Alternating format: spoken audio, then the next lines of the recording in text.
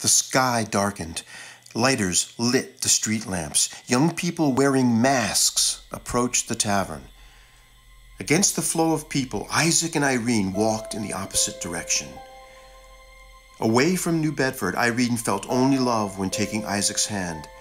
At the water's edge, a shooting star temporarily lit the cold, starry sky.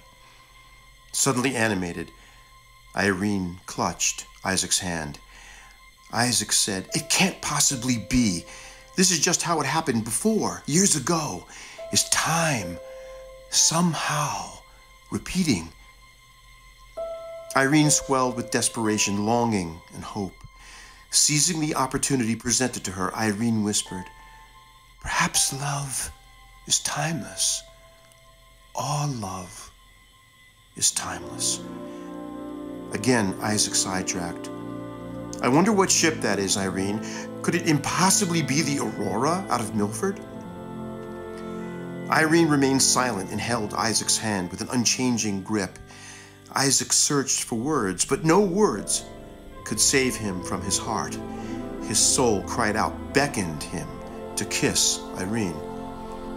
Lit only by distant lamplights and the more distant light of the stars, their breath was momentarily visible before ascending to the heavens. Their breathing became one, two bodies with one soul and one breath. Their lips touched. Irene teared up. Isaac pulled Irene closer to him, breast to chest. An uncontrollable gush of desire swelled up and flooded them both. No, Irene. Forgive me.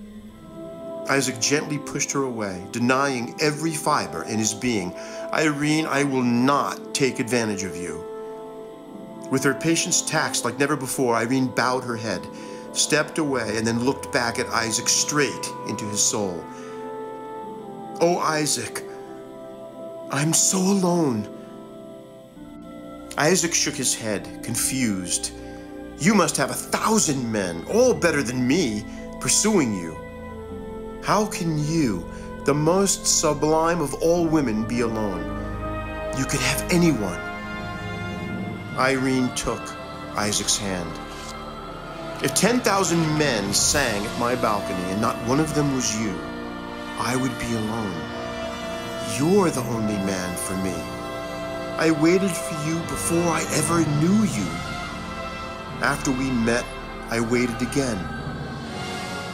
Usually affirmative and direct, Isaac shied away. Don't you see? How could I take advantage of the most beautiful woman, the most beautiful soul I have ever known? Upset, Irene squeezed Isaac's fingers hard in hers. I love you, Isaac. The woman who could never love loves you. For the first time in my life, I despise my flesh and relish it all at once. I wish we could be thrown into a cauldron and melted into one body. At the same time, I love being apart from you, desiring what our bodies make impossible in this world. But damn it, let's try. Isaac clenched with desire but shut his eyes. One day, Isaac, I will enjoy bringing your children into this world, and you will thoroughly enjoy me while we're making them. Isaac was ripped apart by thoughts he couldn't accept. But Irene, her finger went to Isaac's lips. Shushing him, she said, Forget all the things you consider sinful. Your only sin is that you're human you are more human than anyone I've ever known. Be like your mom. I love you beyond all earthly sin. And who is to say that God, in wisdom far beyond ours, didn't send us to each other and to this very moment?